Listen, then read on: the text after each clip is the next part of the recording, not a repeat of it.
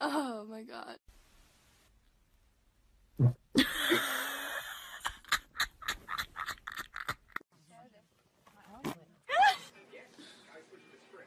I don't think you're ready. Hold on. Du må jo ha noen møbler til det fuglehuset, da, så fuglene kan ta morgenkaffen sin. Tenker jeg.